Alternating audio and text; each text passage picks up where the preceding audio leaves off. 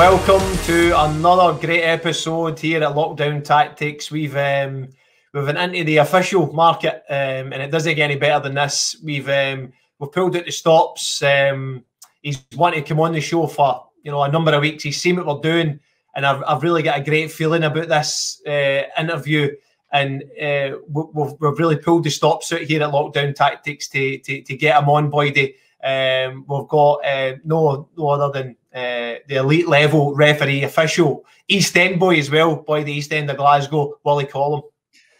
Well, I'm looking forward to it, Snoddy, because I think I've got I've got the feeling that this could be one of our most powerful, emotional um, podcasts that we'll do, and I, and, I, and I am I'm really really looking forward to, to hear Willie's to hear Willie's story. Um, one of the top referees, and um, not just only in Scotland but in the world, referee that um, a lot of top top games. So welcome, Willie Collum. Right, Willie, let's cut to it. Why did you want to become a referee? That's the question everybody always asks me, Boydie, and I suppose um, there are a couple of reasons. Um, firstly, I wanted to be a footballer all my life. Um, when I was young, growing up, I wanted to be a goalkeeper. And eventually, the goalie in the primary school team did get an injury, and, and I was selected to play. This is a true story. Um, and we get beat 17 0. Um, and I was worried about going into school on the Monday and never really recovered for that. So I decided um, playing in goals wasn't for me. But interestingly, it all came about when I, when I was 14. Um, I did want to be a footballer. You know, I loved playing football out in the street. Grew up in East End of Glasgow. Um, football was my life, really.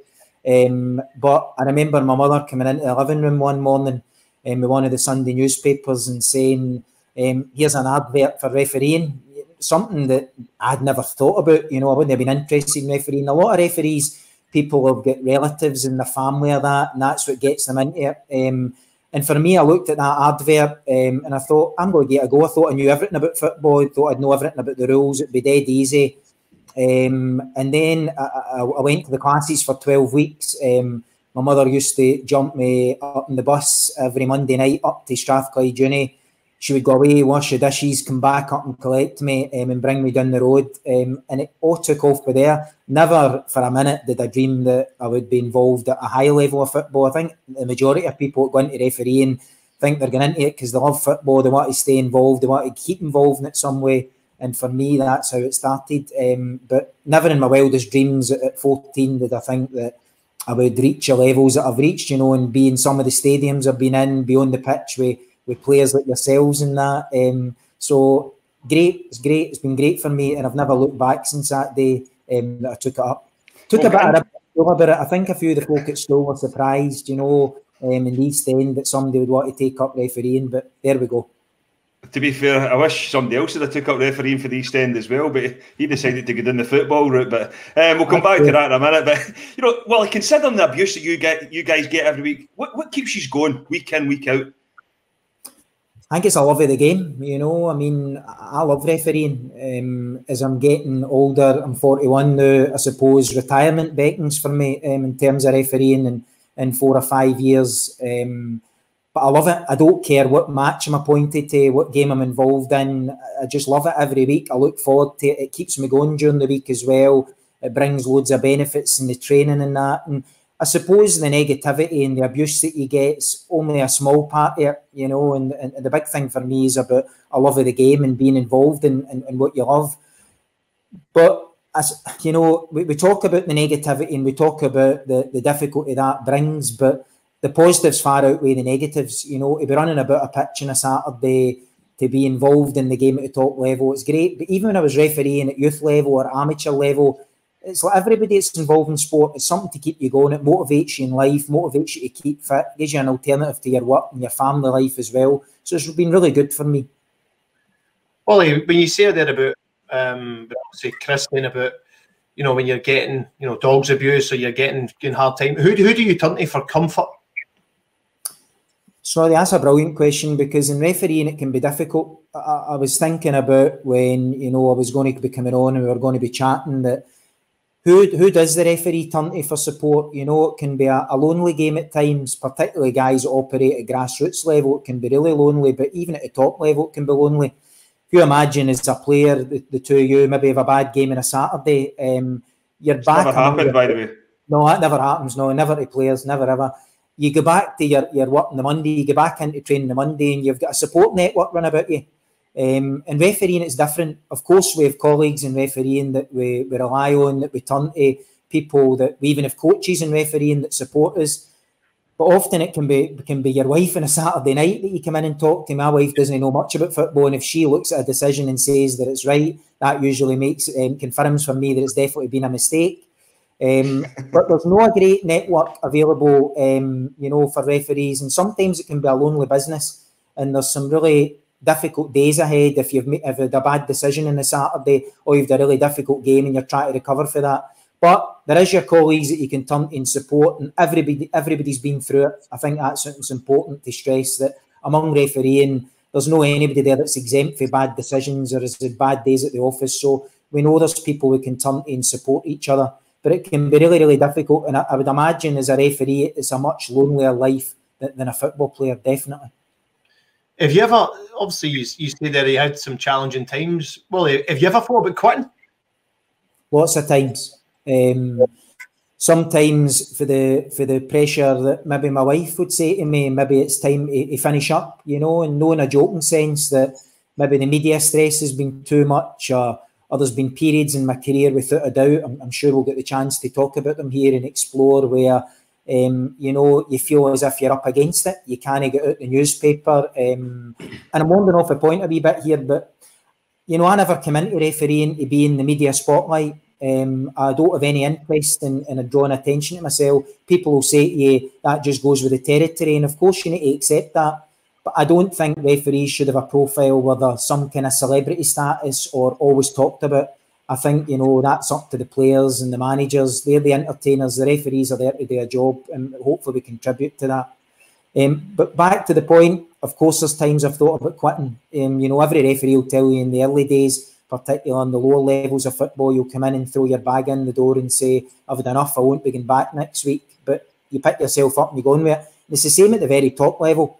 Um, sometimes as well, you think maybe maybe I'm just not cut out for this, and it's taken all these years to decide that. But you think, is there any light at the end of the tunnel here? And I've had some difficult times in my life, you know, and you worry, you worry the the negative effect it has on you in terms of your well being but also the well-being of your family. You know, and, and, and family, does it affect? Your, does it affect your family? Do, do do you feel as if you know when you when you said there about you know you have thought about it and and is that because like a family decision and you're seeing what they're kind of going through because when when they're um they're going through it with you obviously when you take the criticism they're taking it with you you know sometimes Snoddy on a Saturday night you know I remember Howard Webb writing in his book that his wife used to know the, the way he opened the door if it was going to be um, a relaxing night in the house or one that was um, built up tension. And yep, yep. that's the same for me. When you come back up the road on a Saturday, things have either gone well or they've not gone well. Um, sometimes it can be the waiting game for four or five hours to find a clip on Wyscout to prove whether you're right or not. And that yep. can be a long Saturday night. Other nights you can back in for games, you know, there's nothing to fear what you're going to see in the media. You don't need to be hiding behind the couch. And you can actually sit and relax your family and, and actually enjoy being forced into watching some of the Saturday night TV. But when you talk about like, because when you look at or when you list a lot of referees, you obviously they've they've grew up supporting uh, clubs, they've grew up liking football, and you know they want to be part of it everything. Like so, you're no different from any other human being. That when you know when the results are coming in on a Saturday, you're watching them, you listen to everything the radio, reading the newspaper. But how difficult is it when you hear the likes of ourselves, pundits, having a go at the likes of it when a team has lost a game and it's oh, getting blamed on the referee and stuff like that? You know, because you want to listen to the reports, you want to listen to what's going on because you like football like everybody else. I, I mean, times, Boydie, that we would try to say we we avoid the media or we avoid reading things or avoid looking at things. But the reality is, we're all human beings and everybody really has an interest in what other people are saying about them. And sometimes um, you do hide behind the couch looking at that Y Wyscout clip or whatever, you're worried about what that decision's going to show.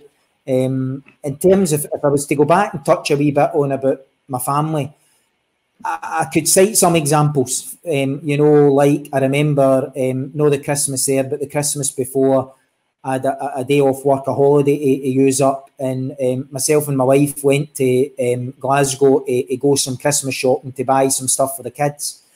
And within 10 metres of getting out the car and, and walking towards a shopping centre, three or four guys gave me the, the, the most ridiculous abuse. Um, it frightened my wife. Um, she was really upset. And that trip ended in five minutes. I was back in the motor and I was up the road. Um, so that's the things that affect my family. My family also. Um, See, to, well, well, sorry for jumping in here. What, what does society need to do more? You know, like you, are going shopping, you're like a normal human being. You've, you've like everybody else. You go and do your job on a Saturday. If that was a player and they had a bad game on a Saturday, they would be getting cuddles. Oh, come on, can I get a picture with you? But because you're, it's not your fault that their team got beat, but you're the one that's getting dogs abuse for it and I suppose people are frustrated because we make mistakes, you know. Um, but you, you, I hear the phrase used in the media a lot, and a lot of the managers, a lot of the players, lots of the pundits use it. That you know, we know referees will make mistakes, but sometimes that seems hollow words to me. You know that, that people are want to say that, that, that they're happy to say that, but then when the mistakes happen, there's not really much forgiveness run about the mistakes. You know that they, and we also have a problem, I think, in society that somehow people think we make mistakes deliberately. You know, there's nothing worse for me than coming in on a Saturday night and knowing I've made a mistake. I want to be able to go on with my life for the next five, six, seven days, knowing that the game's going well and nobody's going to be talking about me. So anybody that might think in society that we're out in some way to cheat or deceive a team, they're kidding themselves on. You know, we don't work hard all week, train hard all week, make the sacrifices we do to then go out and try and make a decision that goes against somebody and think that it's a deliberate decision. We all make mistakes in life, but too often I hear people saying that phrase, and as I say, then they, they go in the bandwagon and jump in that and say, well, we're not accepting that you've made that mistake, it's unacceptable, or really it goes to a height in the media or a stage in the media where it is, is blown out of proportion. I understand that in this lockdown, I've been watching this documentary about Sunderland and, and I can start to see it from a perspective, you know, in terms of the pressure chief executives are under.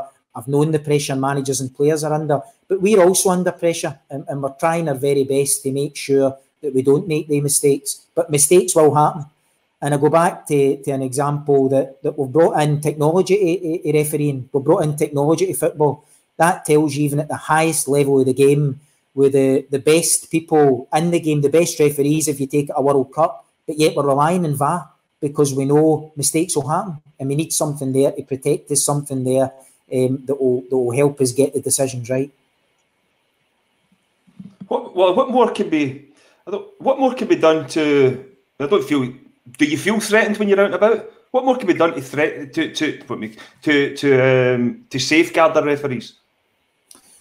I think there needs to be an acceptance that we're ordinary people, um, we're ordinary families, you know, and, and we want to just go about our business. Um, it worries me when I see, you know, in recent times about referees receiving threats. Um, it's very difficult for, for people like me to go places where you're not recognised, you know. And, and I accept that it goes with the territory that people at times. But it doesn't make it right, though.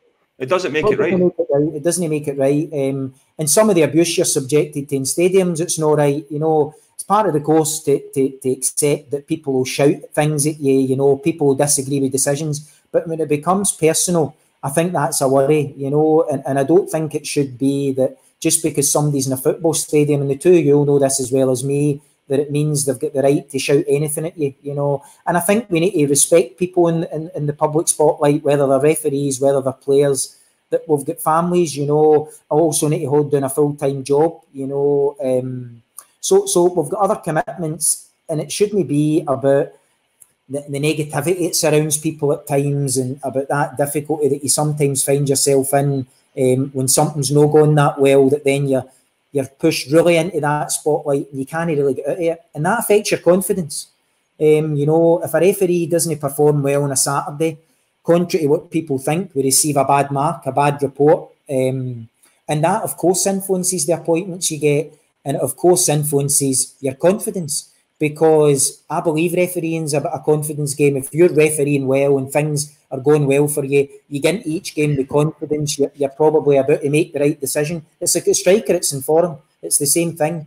Whereas if you're going through a bad spell, and it happens to referees, it's happened to me often, Um, you worry about your next game. You don't look forward to it as much for the right reasons. You worry what about your, what is your what's your thoughts in the build up to that game then? If, you, if you're worrying about it, your thoughts are just get through it.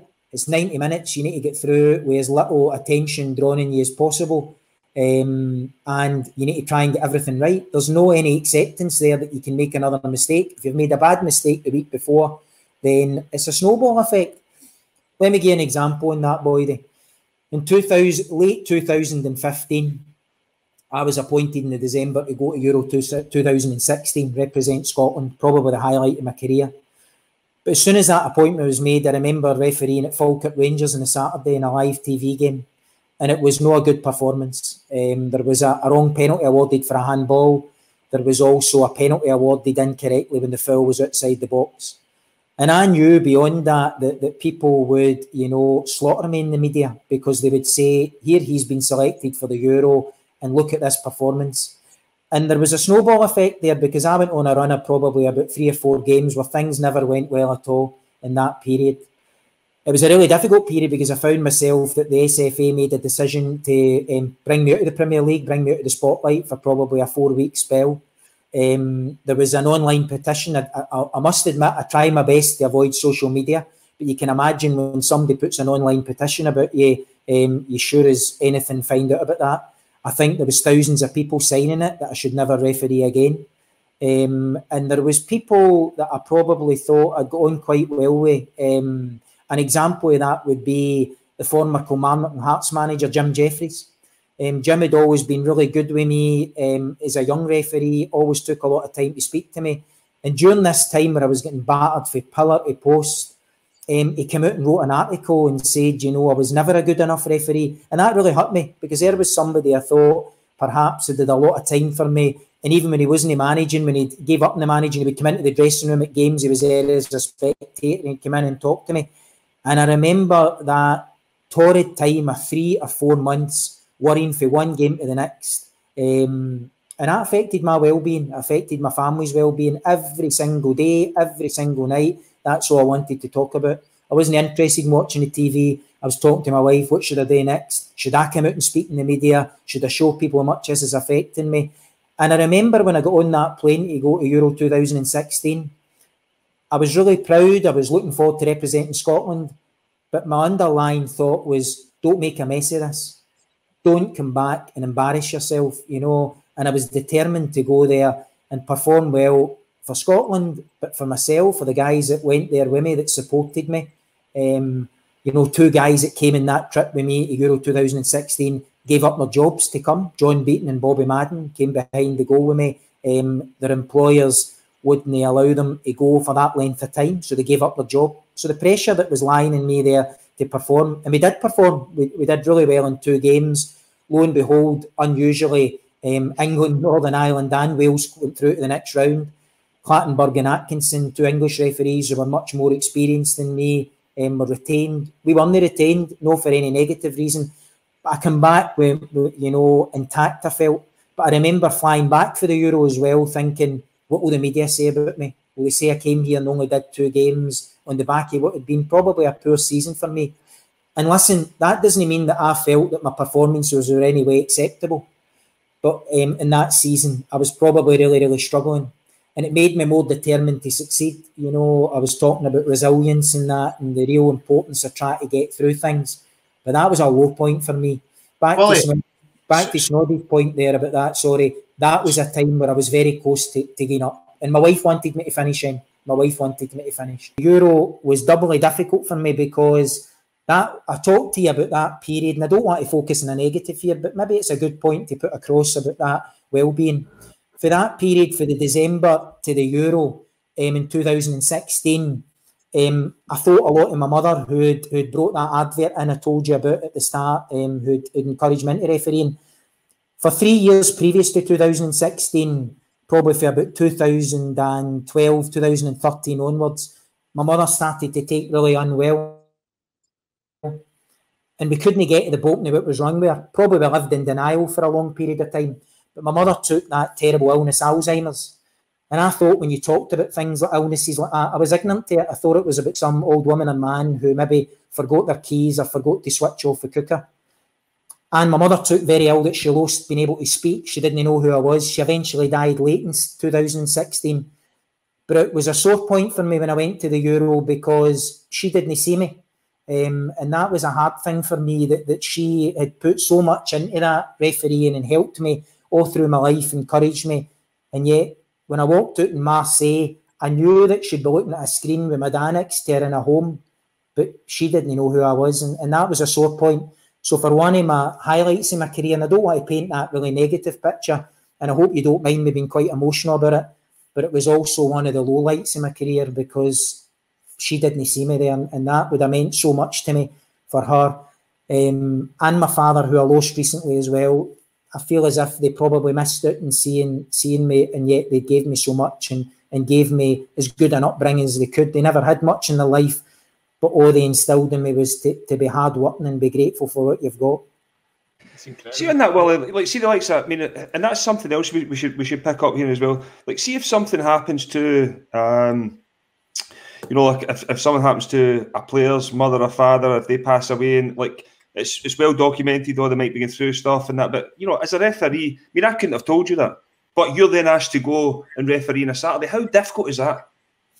That was really difficult, Boyd. I remember, you know, um, driving back for a game at Alloa and, and, and my dad phoning me and telling me to come come straight to, to, to, the house because he needed a bit of respite. You know, my mother was in a really difficult way then, and, and my dad was playing the lone man at looking after and, and, trying his best and did a great job it uh, before we had to put on the home. But people might criticise me for saying that because they might say, well, if, if you were going through a bad spell, maybe you should have stepped out of the refereeing because it all coincides with that difficult time 2015, 2016.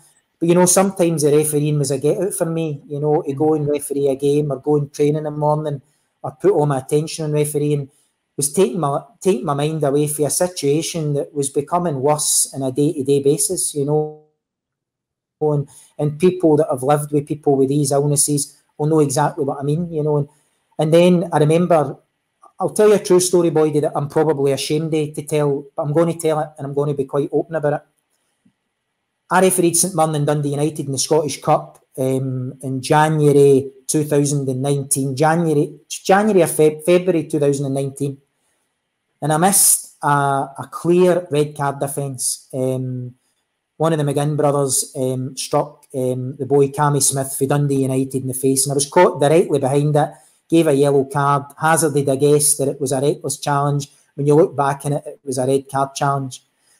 As I was driving back to, to where I live for, for Paisley, my dad phoned me to tell me that um, to come to, to his house. Um, he lived in his own, um, to come and my dad was very, very unwell that night. I arrived at the house. I took him to, phoned an ambulance, took him to hospital. He never came out of the hospital. But you know, that night, when my dad was sitting in the hospital and, and we were getting all the, the, the results back and, and the word was coming back that he was he wasn't going to come out of the, the hospital. In fact, he died within five or six days. Do you know I was searching in between hearing about all these tests he was getting um, on my phone to find a clip of that challenge at St Mirren Dundee United because I was so worried about it was going to be rang and what would what would they be saying about me that night? What would they be saying about me the next day? And I think I took a reality check at the end of that. And I had a lot of soul searching that week in the hospital when my dad was lying there. And I thought to myself, football's important and it is important. And at times it can be really important. And for people, it can be about life and death. But there was something didn't rest easy with me. And I hope that makes sense what I'm saying. And I thought, mm-hmm. you need, to put you need to put things in perspective here. I was worrying about a decision on a Saturday night in a hospital when I was going to listen to somebody telling me that, that my dad's time was up. Yeah, but I think Willie as well. Though, I mean, and sorry to hear about your dad, but what, what what I mean by that is that that is the pressure that you are under, and it's it's wrong. It is wrong that that's what you are worrying about.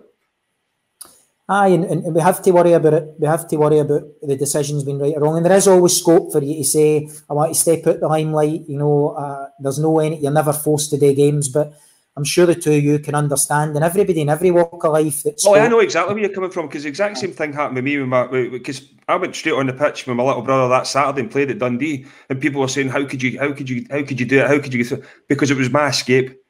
I agree. It was my it was my escape to get out. It was my escape to get out there, go and play football, go and train, well, go and train, then go and play football. Uh, that was my escape. I know exactly where you're coming from.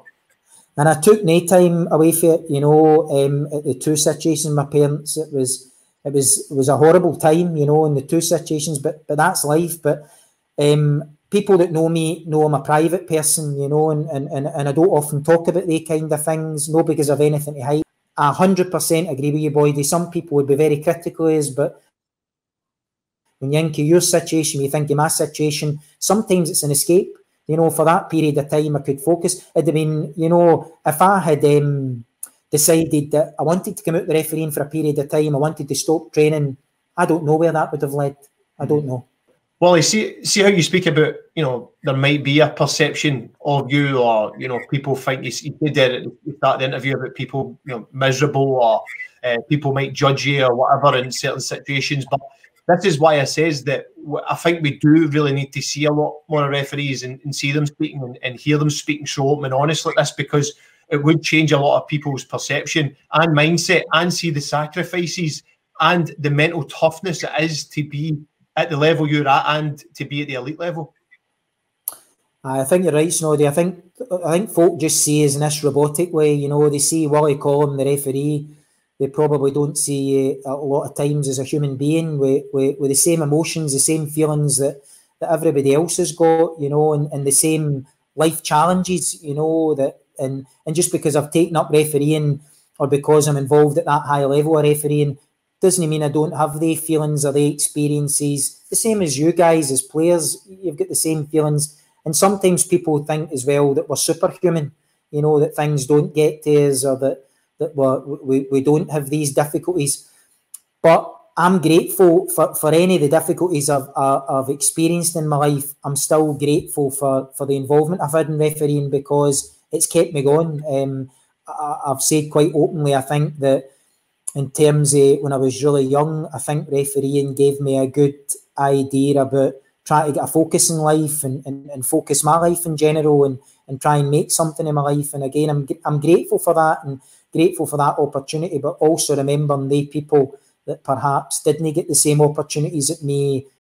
It's not your point though about sometimes when we go to Europe, we're out of that Scottish environment, you know, and you're still in the big goldfish bowl but you've probably got a release. You go to a game, you perform in a game where people don't really know you, um, and then you're back away for that as well.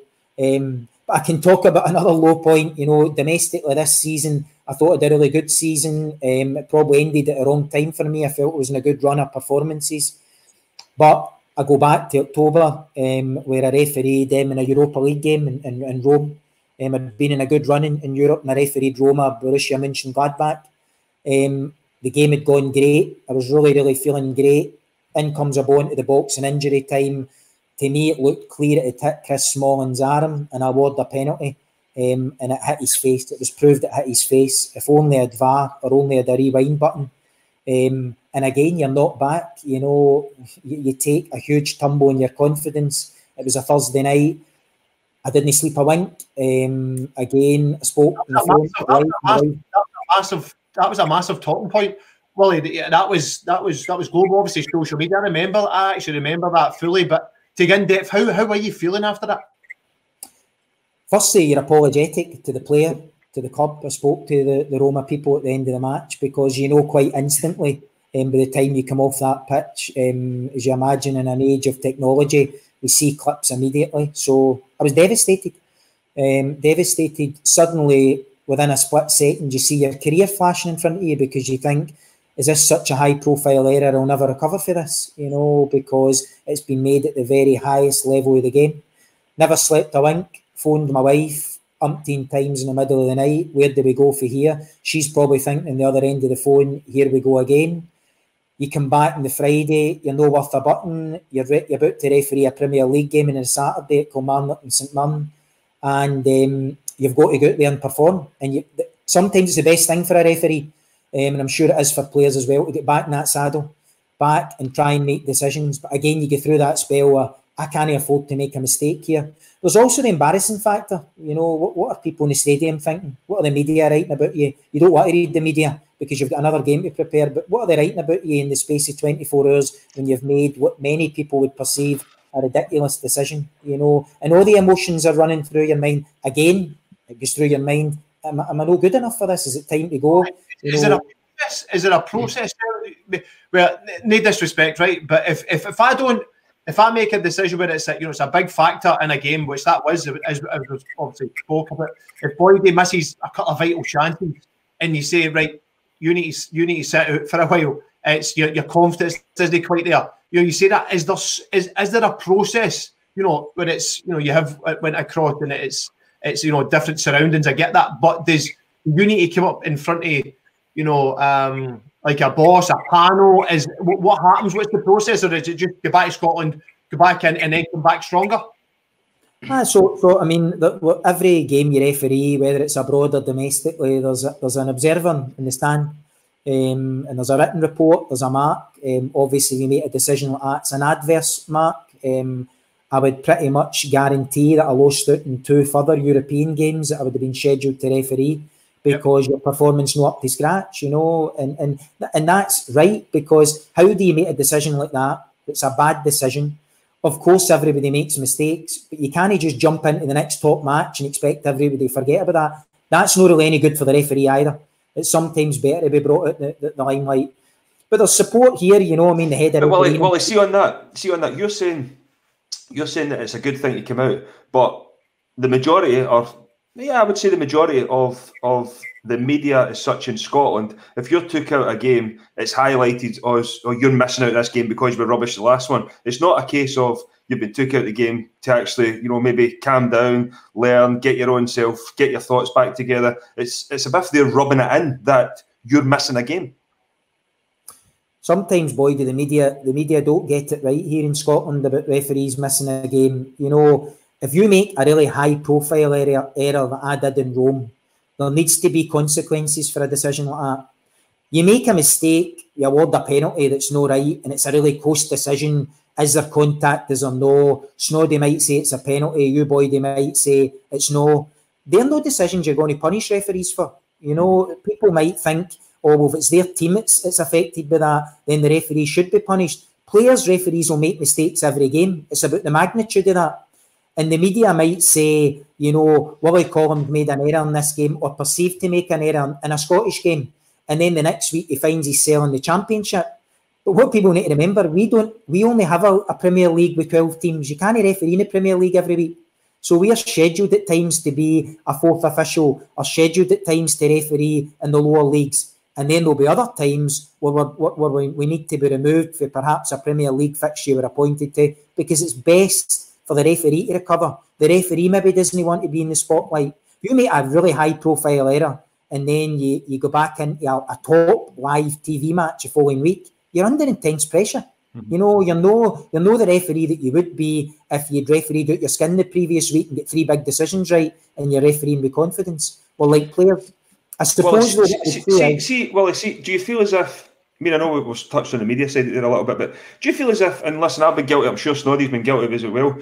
Do you feel as if players, you know, but when you're in a referee's face, swearing and shouting when they make a decision, or, you know, as you say, some are right, some are wrong, but you're in their face having a go at them, that then transfers into the stadium, into the ground. The fans think, oh, the players speak like that to the referees, we can speak. Do you feel as if managers, players, coaches, whatever, there's there's a lot, there's, there should be uh, a responsibility on them to behave or act differently um, around referees during a match. Players and managers have got a responsibility as well to support referees in the job we've got, you know, and be a bit more understanding.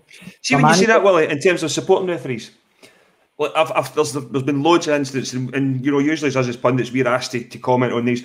What's your thoughts on players actually going out there to cheat, dive, you make a decision. They have been the ones who have dived, and you might get it right, you might get it wrong, but you are the person who has got to take or shoulder the responsibility, take the brunt of it. But they are blatantly cheating, blatantly. So I mean, it's difficult because referees are expected to get it right, whether players are cheating or not. a bugbear of mine has always been that, that if a player dives and, and the referee incorrectly awards a penalty, say, um, it'll be my name in the back page of the media. Um, it'll be my, it'll be me that will be, be, be being discussed in the the studio at the end of the game.